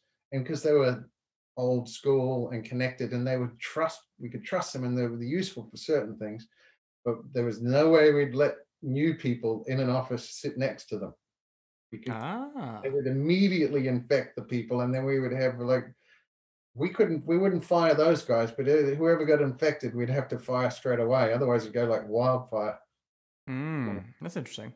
Mm. Um, Troy, we are quite over time. I didn't realize that. Ah. Um, bad facilitation, Michael. But I will ask answer our one question. I do I do wonder if everyone's asked questions and we haven't actually seen them because of the chat being down. I wonder why the chat was down. But Sim did ask, Mike. Here's a question for you, and we'll both answer it, Troy. Anyway, what are your values? Well, we've spoken about a few of them already. Mhm. So my values are strategic planning, strategic agility over strategic planning, um, cognitive diversity over specialization, uh, customer experience over product centricity, and employee empowerment over hierarchies. So a slight joke there, Sim, by the way. So we have a thing called the Business Agility Radar, which is the business agility values. And they're the things I do 100% believe in because they create better organizations. I'll give a quick view over myself. So my goals in life are actually to reduce suicides. So one of my big things of myself is I go through cycles of depressive and um, euphoria and depressive, and lots of people obviously on those cycles commit suicide, and it's very sad and it's very preventable from my point of view. What I've learned from this um, mind uh, set, set is that giving somebody a purpose in life can basically drive them away from making rash decisions like that. So I kind of went, that's my guiding star, right? That's what I want to do. How do I, how can I help that? What can I make a dig in the universe on that, on that aspect? So for me, it was about, okay, you spend more time with your work colleagues than you do your own family. I can't fix the ratio, but I can fix the work environment. Mm. And I got to the point where going, business agility is everything that I did wrong in my previous businesses. I did not have an adaptable, flexible, and responsive business. I did not have a customer centric business, a people centric business. I didn't have a, family. When you create that, you get bigger um, employee satisfaction scores, which means they love their job, which means they don't want to go home and do bad stuff to their family, to themselves.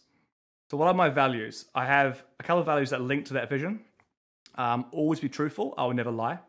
One of my biggest values I believe in. Complete transparency, uh, which is bad in business actually. It's kind of like slam me a little bit. I am always completely transparent. You, you want to know my strategy, where I'm going next? Just ask me. I'll tell you. I'm not going to lie.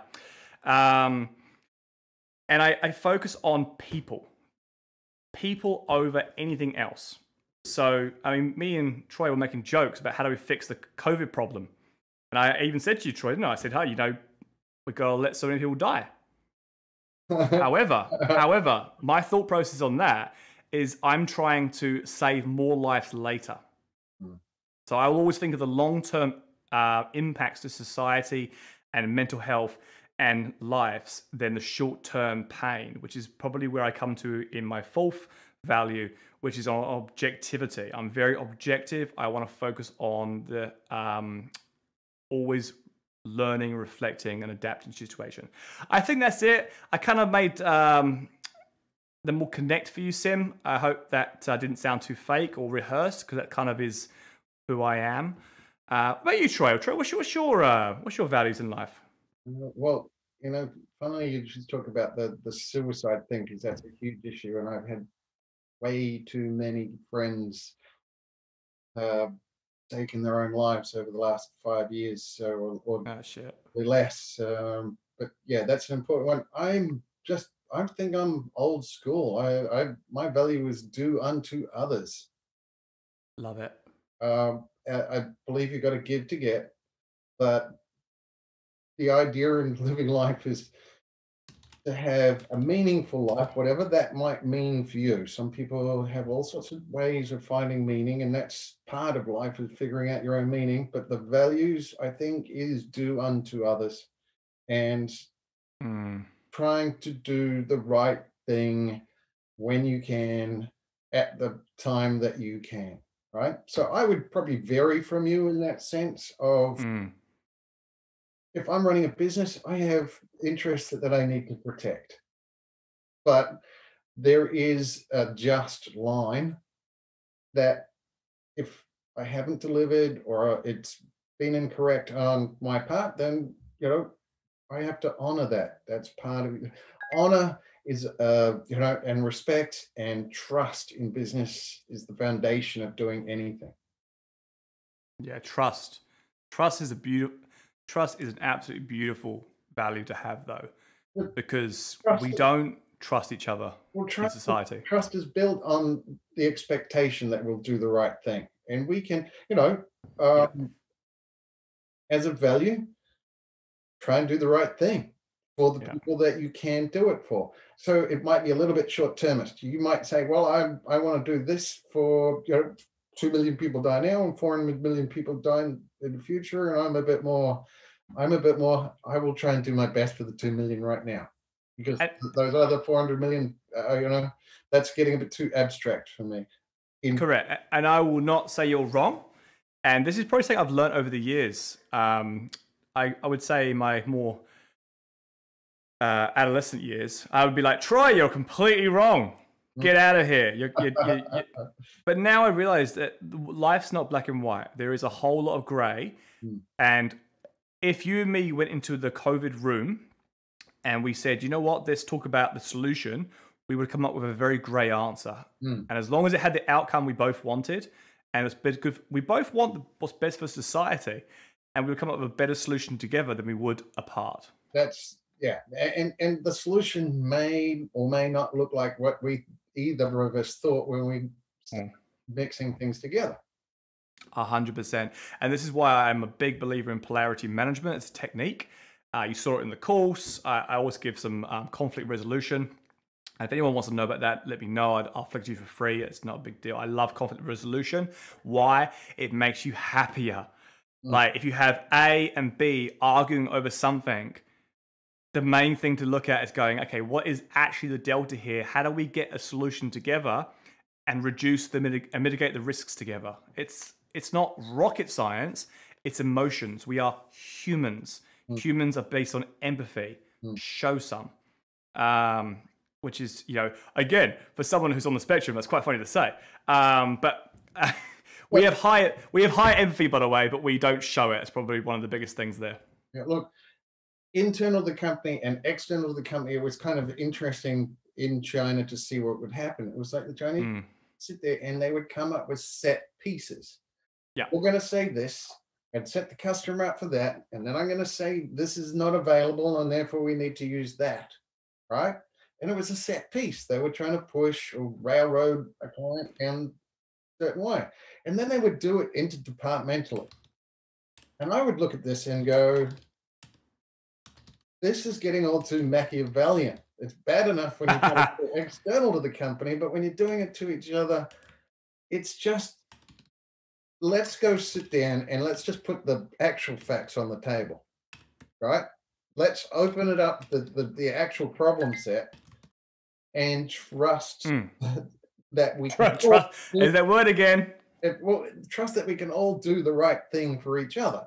It might be weighted more to their advantage at this point or our advantage at this point, but that's not the point, right? Mm. Point is, can we come up with a suitable solution?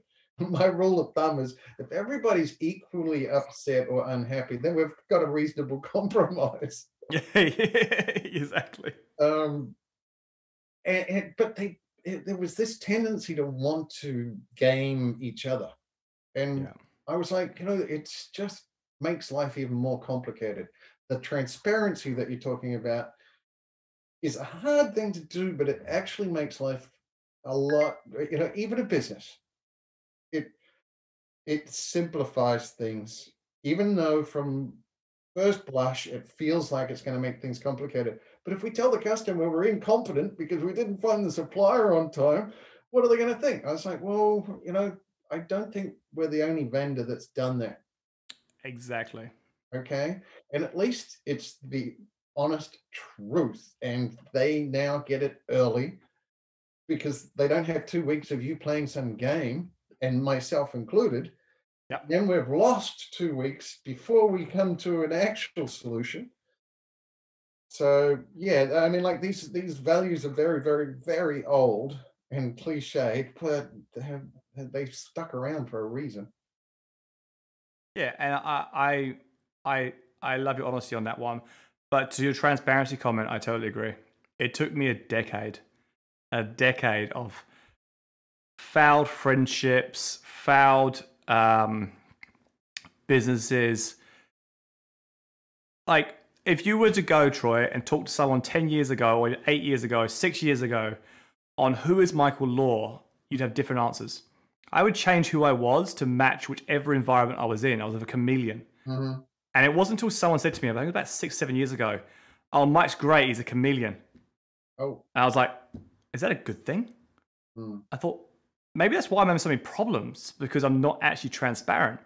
And it's hard, Troy. Like the first couple of years of being transparent, and I don't mean radical candor, Mm. as in like telling the truth, truth, hard truth, because I don't, I don't actually like that. I think it's quite bad. But um, being transparent in who you actually are as a human being. Mm. I, I give you an example. I had a meeting today uh, with um, Novavi, which is on, who's on the call last week, Mhm. and um, we're setting up. We're looking at how we can work together. you know, transparency again. Um, and I'm being completely transparent with them. This is what we're doing. This is what we're charging. This is our mission. This is our thing. You know, that, that just wouldn't happen in any other environment. If you were a butchery, like I used to own a butchery, you would never do that because you give information away and someone would use it against you. In our industry, it's beautiful. I remember uh, it was Hodia. He sort of just looked at me and was just like, yep, that's good. Let's just test it and see what happens. There was no just mental. There was no like taking the information and actually like using it against me. Um, and I even said to him, like, look, I, I'll be honest, like I've been burned so many times that 10% of me doesn't even, doesn't, you know, is always looking for a way out. Hmm. He's like, that's fine. That's totally fine. I understand that. Hmm. And it's like this, I'm loving this industry because it's like people are like that. They want what's best for the customer. They want what's best for the society. They don't actually care about the, money or money comes, money comes. Like it's not saying we don't make money, but it's, it's like you don't focus on the money.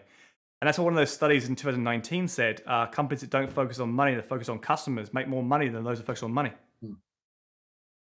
I love that. It's awesome. Uh, Sim, I hope that was your quick question answered. Uh, we got a little bit uh, down in the dirt with our emotions there. Um, it was nice. Um, Sim says fab. uh, and, and Sim's giving me a good idea, by the way. I'm going to do a uh, polarity management in three minute video. I'll, I'll try and do it this weekend for you, Sim. Mm. Um, since I'm thinking about it. So do it. Three minute that that you can cover that pretty. I can get three minutes. Yeah, get a whiteboard. I like your three minute pitches. That's how I come across you in the first place. Oh, is it? I, I wondered how you came. I wonder how we linked at some stage. Like I saw this guy Troy popping up, and I was like, oh, he seems cool. No, no, your your um your your three minute pitch. I was like, I like that. That's cool. It's kind of that. It had that beat that sort of covered one point, pretty deep but pretty quick. Boom. I'm not Yeah. a video person. I will never sit here and watch this thing ever again that we've produced because it's I don't know an hour, two hours of stuff, and I'm just Hour and a half now. Wow. Jeez, we've gone a little bit. you know uh, that transparency thing or that that respect and Hmm. I can remember one time we screwed up and ordered something cool, and it was I would spend a lot of time arguing backwards and forwards with customers, depending on whose fault it was, right? And one Mm. came to me and said, "Oh, you know what happened?" And I explained to him, and he's like, "So does that mean we pay or the customer pays?" And I said, "We pay." He's like, "Oh, oh no." Yeah. And I say, we did it. Uh, you know, I've I've gone through the lot. It, it's not their fault. Often customers would make mis- it changes and stuff late in the schedule, and when you're manufacturing something, that just screws the production line completely up. and we're talking atoms here, not software. So once something Yeah. cut, you can't uncut it. Anyway, it wasn't their fault, and I just like turned around and let the customer know that we would be remaking it and air freighting it at our costs. And he was just that the customer was he was the buyer for the customer, and he was flabbergasted. He's like, you know, that's amazing. uh, Yeah. um, he says, ordinarily this is would just be a drawn out cat fight. Yeah, and again, that's that's where you get to the that the thing is, he came back. agile principle, right? Con- uh, contract, con- Oh wow, I should remember this. Contract negotiation. Oh, I've forgotten the, the value of agile. That's that's an embarrassment. We'll, we'll cut this bit out. Cut, cut. Um, oh, keep it in. Uh, oh, what is it? Oh, Sim, you tell me. Gary, you tell me. Greg, you tell me. What's going on? I'm looking it up. I'm looking it up. Hang on, hang on. We're not we're not, we're not ending with a mistake on on, on, Oh. for me. well, look, the customer came back to me the next season and tripled the orders that he was placing with us. Right, so it cost Yeah. it cost us up front, but then we earned the trust of the customer and continued Love to it. build the business because we took the responsibility for what was going on. And if Yeah, you do a- it in stuff with, with large numbers, you'll realize how sucky that can get. And that's customer collaboration over contract negotiation. I found it. um, yeah, and it's funny. And I, I could talk to you for hours about that story of Alistair as well, because that's what's really. I'm collecting a whole bunch of neural networks actually uh, what you're saying, because um, I've always found the Agile Manifesto so prescriptive, even though it's not meant to be. I found it prescriptive, like its values and, pr- and principles. And it's like, why don't I remember someone saying to me once, throw the Bible away and just have one rule, you know. I'll translate because it's a swear word. Um, don't don't be a dick. Don't be evil. Google. Don't be yeah. Oh, Google. Yeah, hello. Tried that, didn't they? Yeah, tried that. Can't, yeah, changed it because the NSA got. Sh- um, but yeah, it's like don't be a dick. And if agile, it's like just talk to your customer and adapt to what they need.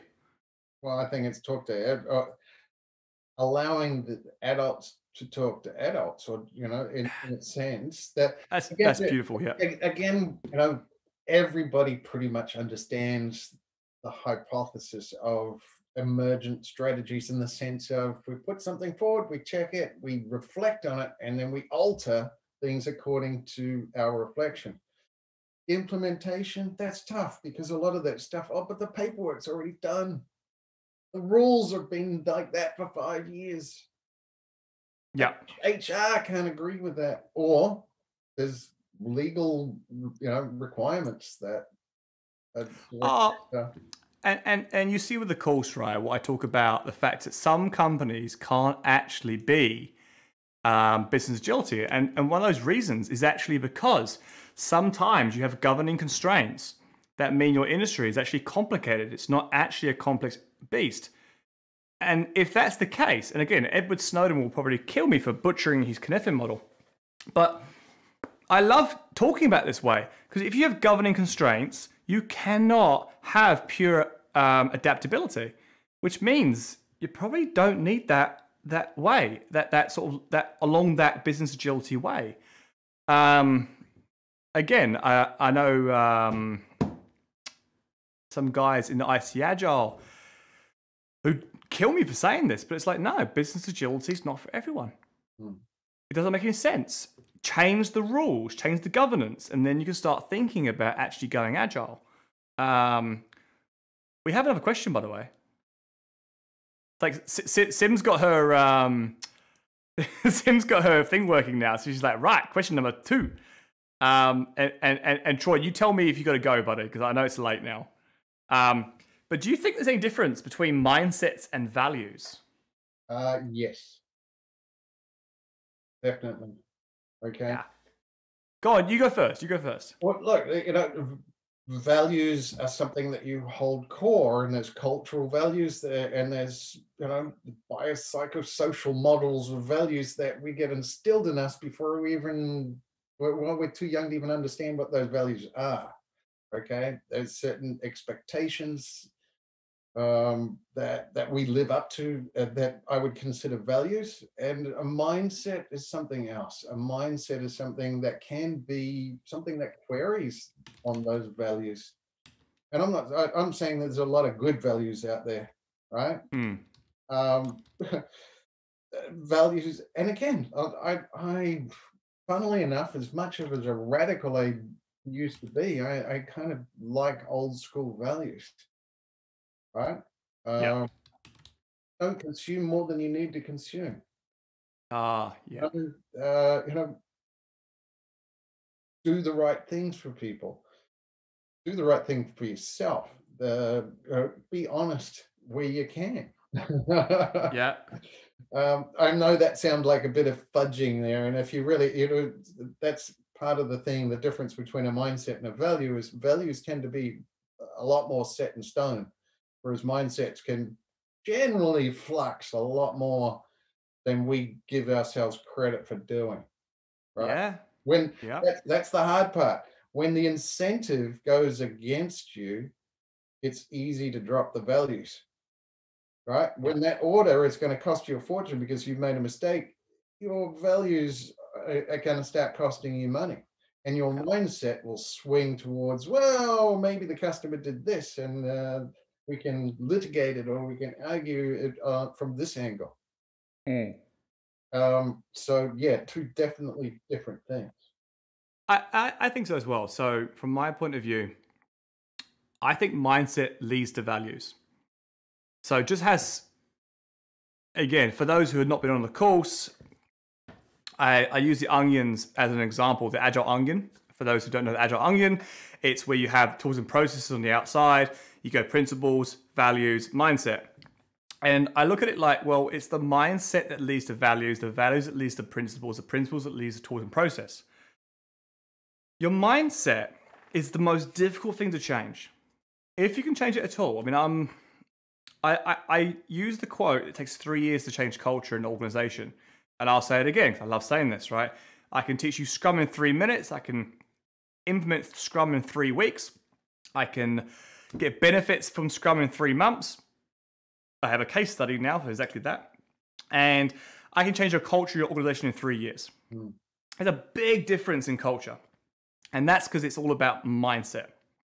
Now, if we think about that, once the mindset changes, we tend to actually start changing our values to match. And this is where I ask like organization, what's your end goal? Is it a mindset shift? Yes. Customer centricity mindset, growth mindset, all the fancy words. Is that really your actual? Is that what you really you want though?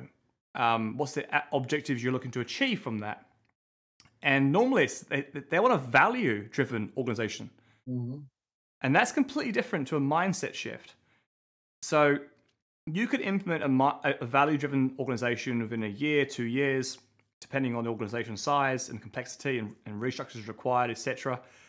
But I tend to find that if you want to change mindset, it's like three years. Uh, and that's because you're probably going to get rid of 30 to 40, 40% of your staff.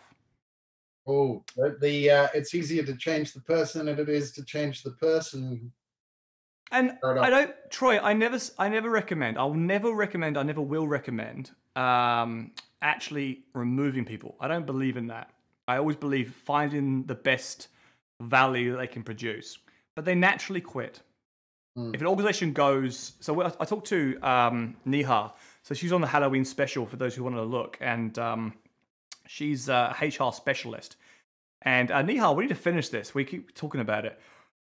We started looking at how to onboard the right people, team fit, band fit, tribe fit, organizational fit, right? Um, and we said that you know the research shows you can't go more than one stage above the team, band, tribe, organization. And the same as like Michael Sahota's uh, work on bands, right? You know, culture, cultural umbrellas. I can't remember what he says, but cultural fit. Mm. Uh, I probably butchered what he says, but anyway, um, if your organization is a amber, you shouldn't hire more than a, an orange. You hire a green, you're going to basically have people leave. Same thing. If you take an organization and you start implementing green procedures, everyone who's amber is going to leave. And this is why I said to you in the course, like when we start going and saying, right, we're an amber organization, so we're a command and control hierarchy organization, Mm. and we're going to go to green. If you move too quickly, everyone leaves. Oh, uh, I've got a great story for you. Go for it. Go for it. I, I was, you know, in the office and I was looking for, I think it was uh, shipping or some, you know, I can't remember the, the role now. And this lady interviewed, and I'm still at the stage where I'm still interviewing people, and company was deep red at the time. You know, uh, most Chinese companies are operating on that red mode. Uh, you know, it, it's just nature of the, the beast up there. And I'm a foreigner, Chinese company, Chinese staff, Chinese woman in front of me who'd spent time in the US, a lot of time, studied there, worked there, come back to China. And she's great. I really wanted to employ her. I said to her, you know, you're, you're fantastic, but uh, you just won't fit in here. And she's like, what? I said, well, it's a really Chinese company, and I don't think you Chinese that much anymore. and she was like, what are you saying? You're a foreigner in this company, and you're telling me that I won't fit in. And I was, and she really argued the case, and she was kind of upset about it. And I was like, Like it. um, well, you know, I have I, I can float along the surface on a lot of this stuff. Um, I tell you what, um, I, I really want to employ you. I'll give you a week to see what you think, right? And I don't even, I don't mind paying you for the thing. Just come in and see what you think. She lasted a day. She was like- Wow. she was like at you know amber and we're red, and she came in there and she just came up to me and she's like, "I'm sorry."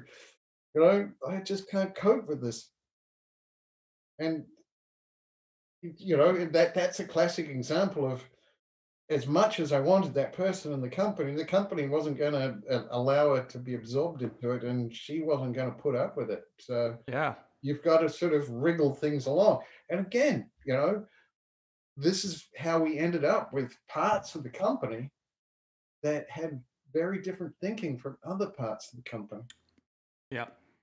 The HR aspect is actually very important. It's very important. And it's one of those things if you have a company, let's say 600 people, and you're going, right, my competitive advantage is decreasing. Mm. I need to do something. We need to transform. Okay, great. So you may go, okay, I'm going to just, I, I'm going to come to Surge and get a current state analysis. No, And you get a current state analysis, right? And we tell you you're amber. right Go, right, I want green.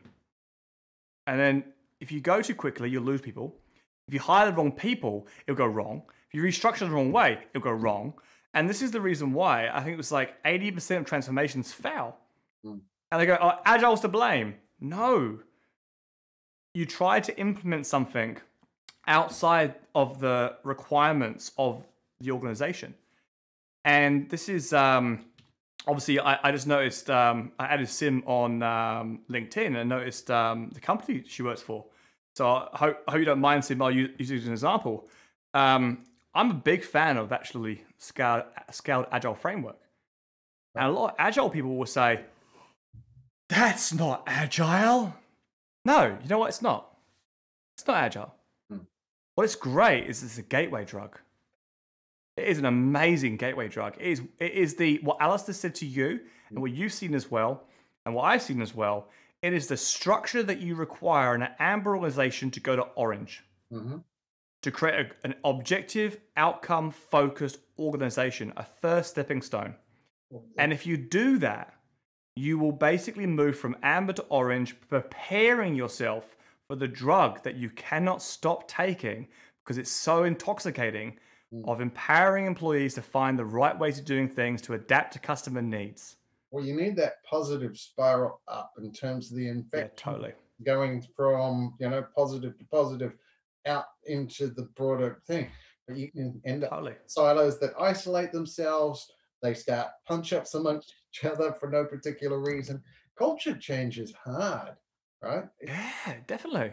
really, really hard. Which is why I love when we see like the RFPs go on the, um, the government websites looking for uh, agile transformation to change culture done in 12 months. Nope. nope. Not gonna happen. not gonna happen. Are you gonna sack everybody and then hire everyone again?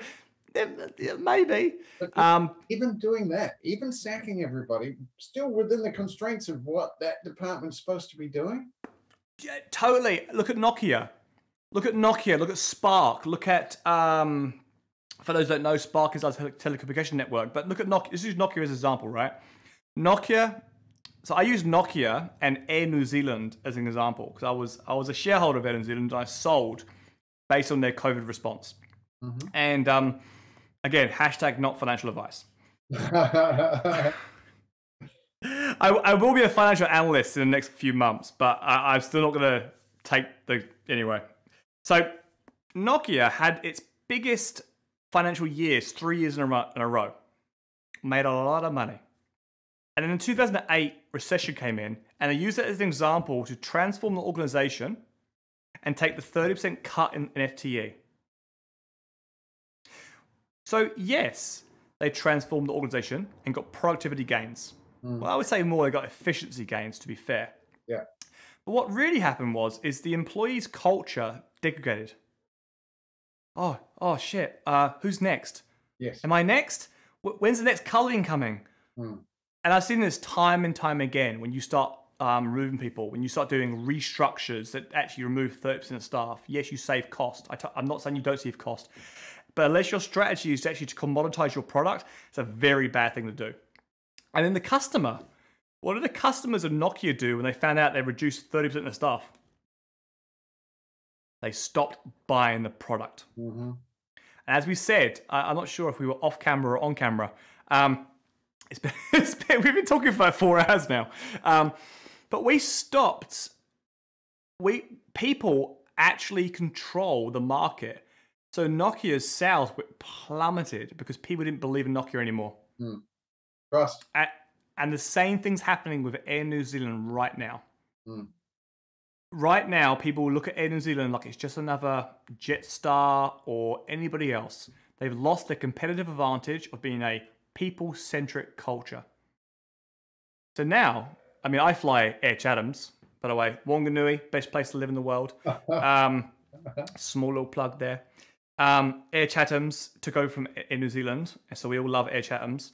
But I have friends now in Palmerston North in Wellington who will fly Jetstar now because of the price. Hmm. I said, but didn't you used to fly in New Zealand? Said, yeah, but I guess Jetstar's so much cheaper. I said, they've always been cheaper. Yeah, I- I guess I didn't care beforehand. Mm. And that small change of seeing the news saying they'll get rid of 4,000 people when they've had three, four years of their largest returns, they had a $1.7 billion ca- um, current asset pool, and they've sacked 4,000 people. I tell you what, um, I wouldn't have wanted to make the choice. I Oh, God, no. I feel sorry for the executive team. I really do. you know, Like, again, uh, who who who is the customer here? Because when our customers aren't there, right? Is it our Yeah. staff? Is it the so, Oh, so, sorry, is sorry. it- I just, I just saw Sim's next, next question. Geez, that's a doozy, Sim. Um, yeah, but who- is the customer? I, I totally agree. Is it, is it the government because they own fifty-one percent of the shares? Is it the customer though? Is it the New Zealand public? Is it the person Yep. that buys a ticket? Is it the shareholder?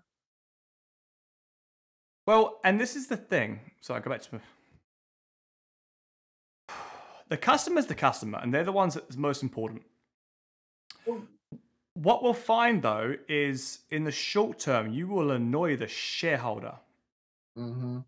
And if your board is made up of shareholders, you will be outranked very quickly. So, as part of my thesis, I found that customer transformations that invoked the shit, the board, had a negative correlation with customer value, Mm-hmm. which basically said that if you was to do an agile transformation and you involve the board, you will get a negative correlation on customer value. And the reason why that is is simple. The board want to see profits now, Right. And and they'll stop you. that's their fiduciary duty. If you're a listed, Ah, oh. if you're a listed entity, your duty is to Yep. make the most money possible for your shareholders. N- Uh, mm, there was- there- that- that's not what it says, Troy. It says in the benefit of the shareholders, right? hmm It doesn't determine a time frame. Uh, okay, so then that's open. Uh, Yeah. I think we've already, uh, uh, personally, I think we've covered a lot of ground on the financial side. Yeah, no, you're right. You're right. In fact, I, I, I'm going to have a conversation with you on financials. We need a different podcast for this for financials because I, I did not realize that you are a one and um, you're like me on the financials. So hey, we'll, we'll have one last question from Sim, and I think we'll call, call it a night. Is that okay with you, Troy? Sounds fine. Uh, because this is um, I didn't realize the time's getting on a bit. Um, hang on, Sim, so get your question up. I have a fancy system, but I have no director. I need a director. Who would like to volunteer and come into my garage and become my audiovisual person? So Sim says, and Troy, if you don't know about this, I'll, I'll- give you a context. I'm curious. What's your opinion of the Sparks agile transformation now that the initial dust has settled? Well, I can't comment on this one. This is a question outside of my bailiwick because I don't know anything about Sparks agile transformation whatsoever. Unfortunately, sorry. So, so I'll give you some context from my point of view, um, because I, I, I obviously I know some of the people who did it, and I know um, I know some of the engineers. I know all the people who left Spark, Mhm. uh, engineer wise. So Spark did the one big bang approach of an agile transformation. Right. They went from this day, we will be agile. Okay. and they tried the whole um, if you don't like it you can leave Right. and people left of course uh, i had about three friends who left um, i didn't realize how many people i knew that worked for spark and Uh, so when was this transformation? Uh, you know, like pre-COVID, post-COVID. yeah during- pre pre pre covid so this was i think it was um, it hit the deadline 18 months ago or 24 months ago okay.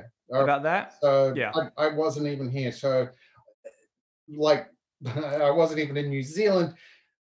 Has anybody noticed a difference in the service, the quality of the service, the attentiveness of it? The, the, oh the- what- beautiful question what's going on? Because that's the only way I would notice, right?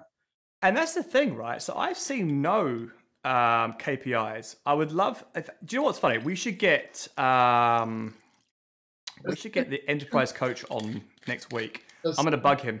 does Sim work for Spark, or should I? No, no, no, no. Um, see, I, I, won't mention the company, Sim, because uh, that might be bad. Sorry, But yeah, um, no, uh, it's just um, you know, Spark was New Zealand Telecom many years and many years ago. correct. Yeah, yeah. So That was a job for life until they privatized or nationalized or something, and they split into Chorus and Spark. And Yeah. the job and the job for life, thousands of people got sliced off the, the, the job for life. Yeah, Okay. So it's you could almost say that it's in Spark's DNA to do these large transformations that are basically excuses of cutting cut, cutting timber. I actually that think that's a very wise um, critique there. Actually, Troy, is it in their DNA? Is it actually a cultural? Is that hmm, that's a good point? Is that just how the board sees things? Let's do big transformations so we can cut costs and use it under the disguise of adapting to our environment. That's a, that's, a very good point.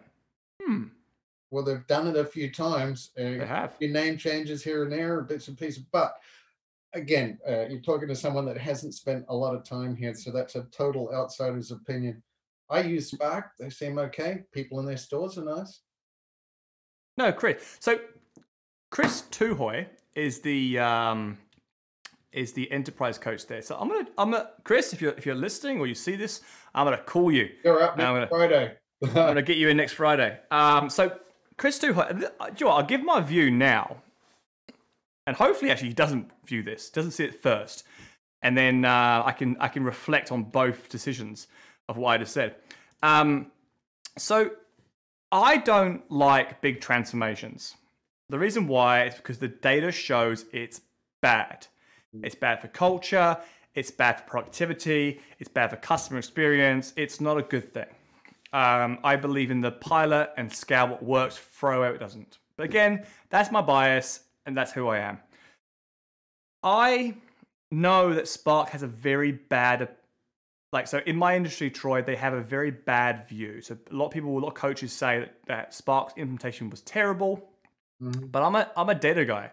So Spark is one of the highest people. They've done to 25 of the people an organization, which is quite small, I know, but 25 of them did the bar.